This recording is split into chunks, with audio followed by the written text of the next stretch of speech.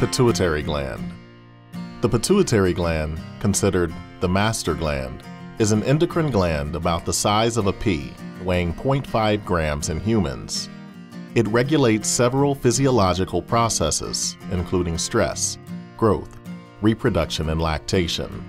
Hormones secreted from the pituitary gland help control growth, blood pressure, certain functions of the sex organs, thyroid glands, and metabolism, as well as some aspects of pregnancy, childbirth, nursing, water and salt concentration in the kidneys, temperature regulation, and pain relief.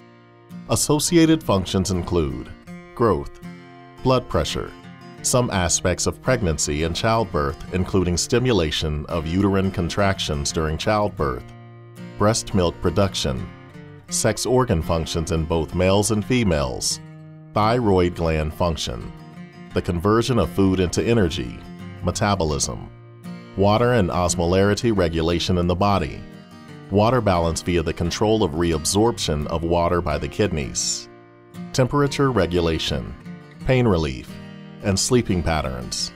Case study Vera, aged 26, went to the doctors complaining of severe weight gain, swollen ankles, weakness, mild headache, and high blood pressure, and was given a thorough hormone check. At the age of 7, she had been diagnosed with diabetes insipidus, and when she was 12, she was unusually short for her age. She was diagnosed with growth hormone deficiency, but not given any replacement hormone, and surprisingly managed to reach adult height. However, at the age of 18, her periods had still not started. She was given sex hormones, but that made her put on weight. At the age of 26, the doctors discovered that all of her problems dated back to a mild concussion that damaged the pituitary gland at age 7.